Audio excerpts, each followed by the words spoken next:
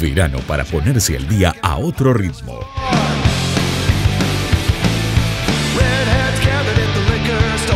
En febrero vuelve el equipo de Cambiando el Aire.